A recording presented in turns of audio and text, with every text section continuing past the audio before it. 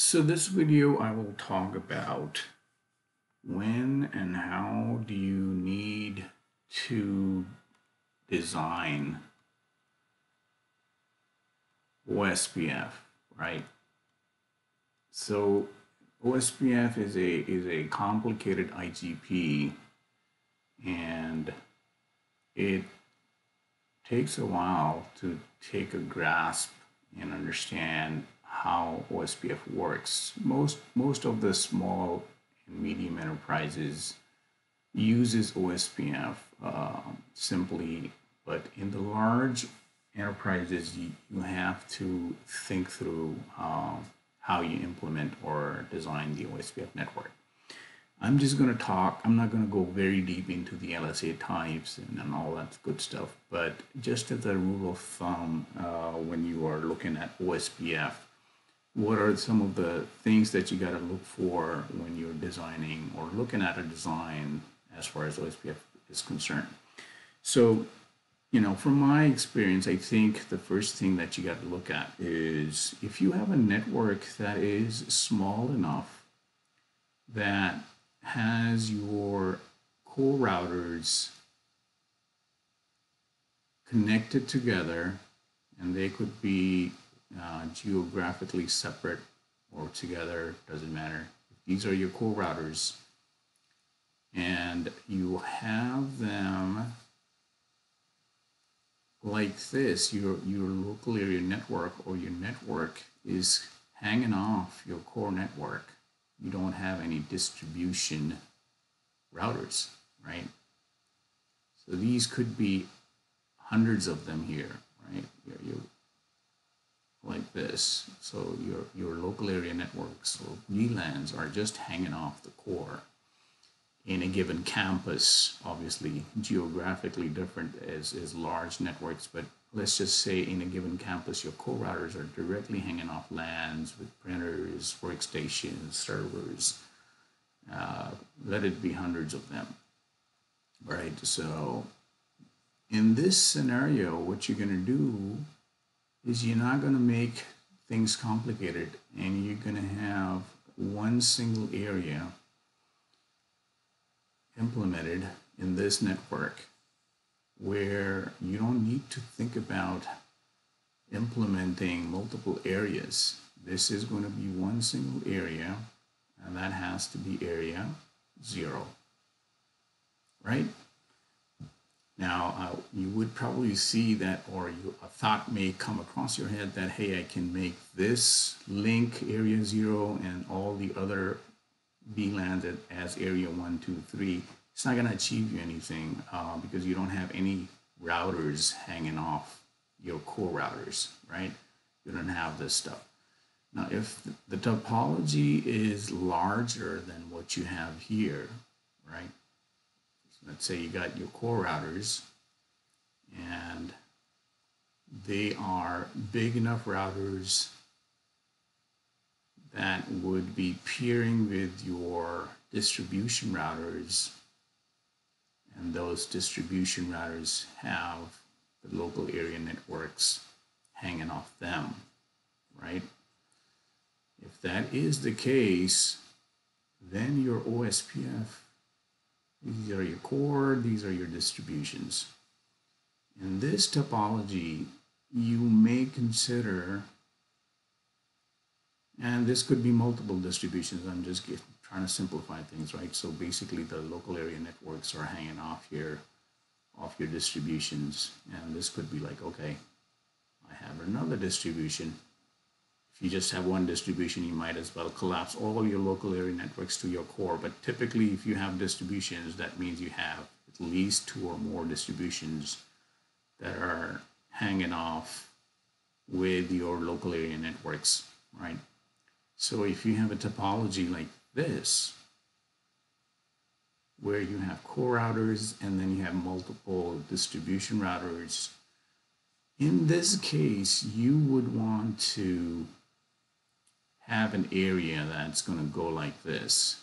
Multiple area OSPF design, right? So you've got your area zero between the core routers and then multiple different areas going between the distribution core. So now your area zero is here. And then this could be area one. This could be area two. Why is that? Um, because with OSPF, what you can do with multiple areas is actually simplify your OSPF topology and, and performance. So now if you have something like this, you can create area one to be stub where, or totally stub where this core router would only give out quad zero, a default, so that you don't have to flood all these routes, route N1, N2, N3, network one, two, three, they're all getting flooded into these routers, right? They, they could be hundreds of these or tens of these.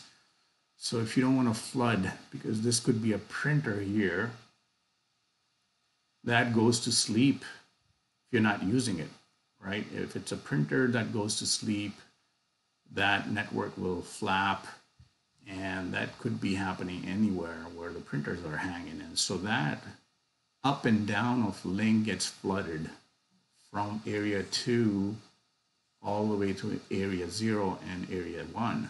You don't need that. So if you have this, and you know, each time a link flaps, there is CPU crunch, memory leaks, that may cause the router to not function optimally. And obviously it depends on how large the network is.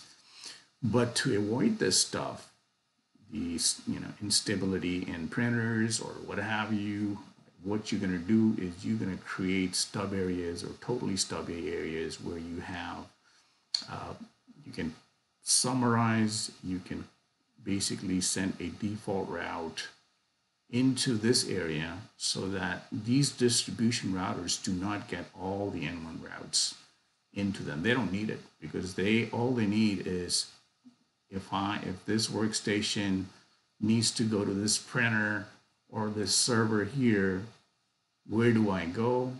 I have a quad zero from core, he's directly going to go there. So, and, and if you want to, if you have a full mesh and all that stuff, the quad zero would still work. If this fails, this quad zero is going to come through this. So, like I said, if you have a topology where your local area networks is essentially hanging off your core. You don't need multiple areas. You can just live with area zero. Area zero is must. Uh, or, you know, you can technically say I can go with area one and two, but, you know, then you cannot have multiple areas.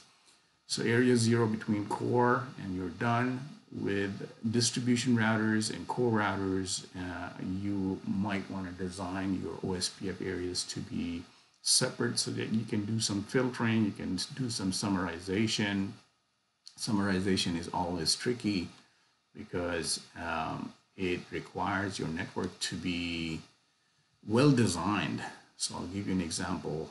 If you have this guy to be 10.1.1.0 slash 24, and you got this network to be 10.1.2.0 this is a well-designed network so far, 10.1, 10.1, and you're just incrementing per VLAN 1, 2, and then this one is 10.1.3 slash 24, and then this one is 10.1.4 slash 24. If you have something well designed to begin with, what you can do is you can summarize you can summarize these networks on your core because your core is an ABR, area border router.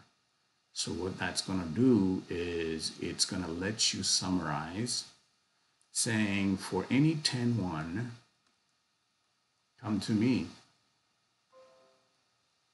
So you're going to send the summary from this core 1 router towards core 2 saying any 10.1, come to me and any instability here would not be flooded here.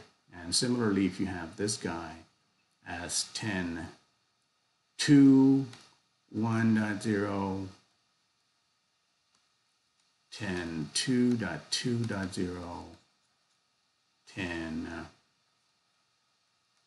2.3.0, see how well planned and designed these are. You, you would hardly see this uh, if you do have something like this in large uh, networks. You're lucky, but most of the time it's an evolving uh, network which doesn't permit well-designed uh, addressing. So let's just say you got these in this area that will permit you to do a summarization from this guy to say for any 10.2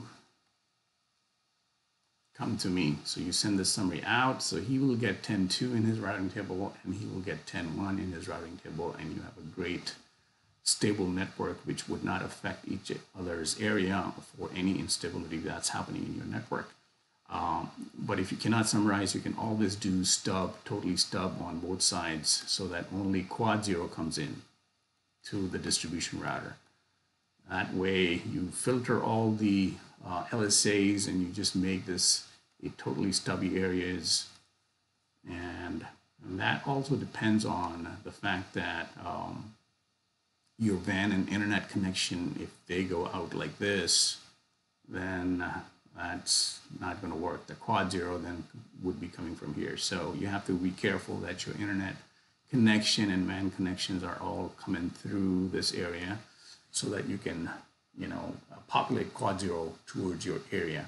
So that's basically what you could use from a high level perspective to see um, that you don't want to overcomplicate your OSPF designs. If you do have a use case like this one, uh, you can and you can optimize by summarization or making the other areas totally stubby or stubby areas. Hope this helps.